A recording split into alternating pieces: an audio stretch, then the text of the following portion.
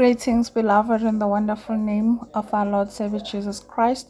You welcome to this channel. I am Sakhile God is saying there is a man above. Hallelujah.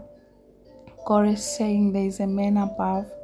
Um, at some point, I used to become very sick at night.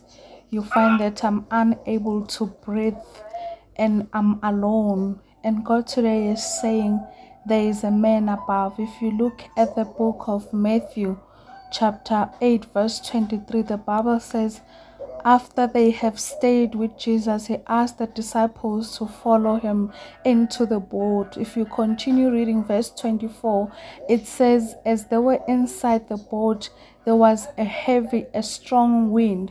So, God today is saying there is a man above who will actually take care of you, who will protect you. So many strong winds may arise in your life, but there is a man above, and that man is called Jesus Christ. So God today is saying, in whatever situation, storms that you you encounter when you are alone, don't forget that there is a man above. Stay blessed and continue to watch the channel. In Jesus' name, amen.